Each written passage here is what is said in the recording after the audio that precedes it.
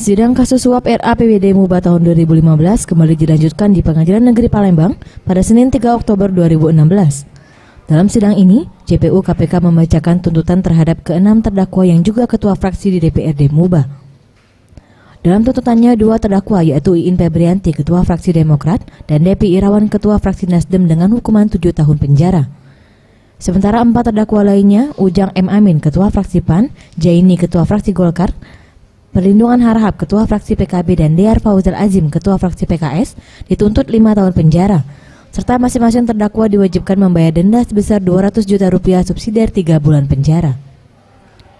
Menurut Febi Duyando Spendi, JPU KPK, Keenam terdakwa yang semuanya berstatus Ketua Fraksi DPRD MUBA 2015 dijerat pasal 12 huruf A Undang-Undang Nomor 31 Tahun 1999 tentang pemberantasan tindak pidana korupsi untuk tuntutan Iin Febrianti dan Depi Irawan lebih berat karena tidak mengakui perbuatannya. Kalau menurut kami sudah sesuai dengan tindakannya karena tuntutan itu tidak berdiri sendiri. Kita punya perkara pokoknya yaitu para pimpinan DPRD MUBA dan Bupati kan.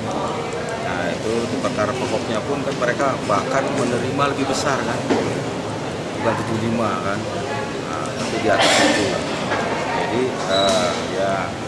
Itulah tolok ukur kami dalam menuntut. Nah, jadi menurut kami itu sudah mendekati rasa keadilan. Sidang akan dilanjutkan pekan depan dengan agenda pembacaan pembelaan dari keenam terdakwa. Para Satria Septiawa Rizky Sriwijaya TV.